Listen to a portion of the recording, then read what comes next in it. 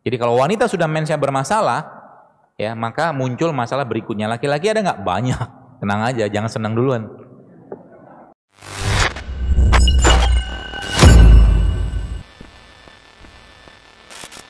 Conventional medicine ini saya katakan, saya tidak anti sih, cuman kadang-kadang agak bingung aja. Barulah 100 tahun ini muncul dari zaman dulu bapak bapak nenek moyang kita makan kunyit, makan temulawak, makan ini sehat-sehat aja tuh mereka. Betul nggak? Ya sekarang kita malah ketakutan, malah jauh dari begituan. Ya. Kemarin saya ada posting tentang kuaci. Kalau anda lihat kuaci, kuaci mana kuaci? Saya bawa kuaci nggak? Banyak jualannya saya. Kenapa dia bawa beginian biar ingat? Kayaknya ada kuaci, tapi bukan bahasanya kuaci. Ah, ini kuaci. Kuaci itu kan biji bunga matahari kan? Oh, bukan ini berarti. Salah. Ah, ini dia. Nih. Kalau Anda yang baca di tulisan di IG tentang seed cycling, itu subhanallah luar biasa.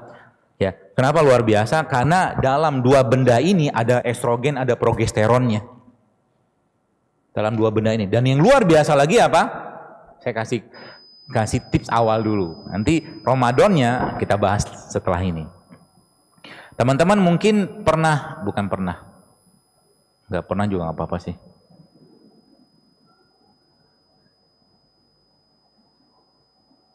Nah ini dia. Masalah kebanyakan orang yang sempat Anda baca kemarin tulisan saya tentang kulkas sama freezer. Tahu? Mati dia. Sentimen layar sama saya. Kulkas sama freezer. Freezer itu istilah saya untuk masalah hormonan, masalah hormon sebenarnya. Dan apa yang terjadi kalau Anda lihat gambar di depan, itu ada gambar uh, ada kata pregnenolon. Pregnenolon itu apa? Apa sih dia? Dia sebenarnya master hormon. Jadi kalau seseorang itu mengasup itu, memakan itu, apa yang terjadi? Hormonnya akan reset. Terreset. Ibarat kata laptop lagi masalah gitu kan. Anda tekan tombol startnya agak lama, maka dia akan reset, restart ulang. Nah begitu lagi. Dan itu ada pada apa coba? Ada pada, ada yang tahu? Black cumin, habatus sauda. Belajar kan? Makanya Abu Sauda yang kemarin beberapa teman-teman akhwat yang ikut kajian saya di daerah Gandaria itu saya kasih namanya titrasi menggunakan habatus sauda. Sekarang nggak usah lah. Uh, nggak cukup waktunya. Ya, jadi titrasi menggunakan? Untuk apa? Untuk ngeriset hormon.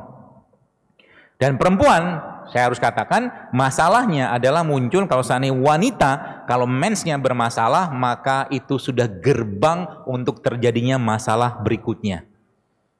Jadi kalau wanita sudah mensnya bermasalah, ya maka muncul masalah berikutnya. Laki-laki ada nggak? Banyak. Tenang aja, jangan senang duluan. Banyak masalahnya. Laki-laki apa yang terjadi? Lack of testosteron. Lack of testosteron, kurang testosteron maka lack of leadership. Zaman dulu laki-laki gagah perkasa zaman sekarang. Hah.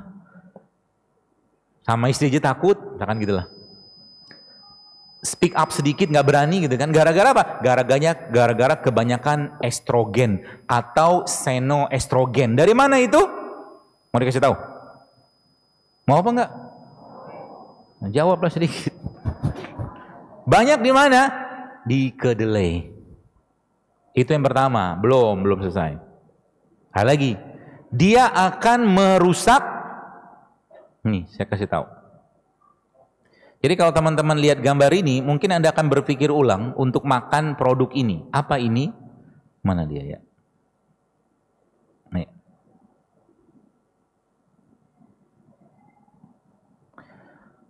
Ada satu penyakit sebenarnya yang sekarang ini banyak orang nggak sadar. Namanya apa? Leaky gut. Leaky gut itu ini nggak dipelajari di dunia kedokteran ya, nggak ada ceritanya. Gut itu apa? bahan atau bagian yang ada pada usus itu keluar masuk ke dalam pembuluh darah. Dan penyebab gut itu jadi awalnya usus tuh pilih-pilihnya leng apa? Tight. Tight itu ketat-ketat. Gara-gara bahan ini apa yang terjadi kemudian? Rusak semua sistem yang ada pada usus. Dan bahkan mau kanker kayak mau autoimun kayak bisa muncul gara-gara itu. Penyebabnya siapa? Tersangkanya. Tersangkanya ada dua satunya produk tepung. satunya. Satu lagi apa? Produk berbasiskan susu. Tersangkanya tuh. Jadi Anda yang masih suka makan gorengan, ikan digoreng tuh. Belum lagi lemak transnya ya. Maka siapin duit banyak-banyak untuk berobat. Serius. Sedihnya lagi ketika Ramadan, takjilnya gorengan. Kapan kita mau sehat nih badan gitu kan? Boro-boro mau terawih 23 rakaat, 11 rakaat, 2 rakaat pertama udah ngantuk. Isinya badannya karbo semua. Belum lagi cerita ketika buka dikasih apa? Teh manis. Gula pasir musuh selanjutnya di usus. La ilaha illallah. Saya kemarin udah ngomong satu masjid, saya bilang sama DKM yang saya bilang, coba diganti itu. Diganti apa? Baik, saya kasih tips kepada Anda. Ya, Tipsnya apa? Kita ikutin bagaimana Nabi. Nabi kita itu berbuka pasti sudah tahu lah ya, pakai rutop, pakai tamar, pakai air gitu kan. Nah tapi yang jadi masalah adalah bakdanya itu tuh yang jadi masalah buat kita. Oke, makan kurma buat batalin puasa habis itu panjang ceritanya, tahu masuk, gorengan masuk, apalagi macam-macam lah masuk gitu kan. Lagi bersih-bersihnya tuh badan kaget dia bu, pak. Ya kan? Akhirnya apa? Hari pertama Ramadan beratnya 50, hari terakhir 55. Sama aja bohong.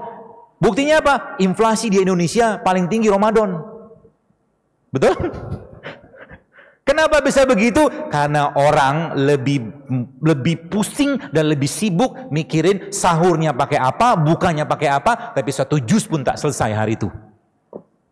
Bencana besar. Kenapa sahabat-sahabat senang datang Ramadan? Karena mereka nggak sibukkan lagi dengan makanan. Sibuk dengan apa? Quran, berbuat kebaikan, itu aja isinya mereka. Sehingga nanti ketika berbuka, ambil kurma segala macam, sibuk lagi dengan sholat, sholat terawih kan sampai malam selesai. Sahur nanti makan lagi, makannya paling kurma tiga butir, lima butir, minum satu minum sendok madu, ya, lalu minum air, lalu berdoa, ya Allah cukupkan badanku hari dengan apa yang kumakan sehingga aku bisa beribadah optimal selesai. Makanya dalam Islam bahasanya apa? Ususnya kita itu satu makanan kita untuk tujuh usus, karena berkah makanannya. Paham? Ya.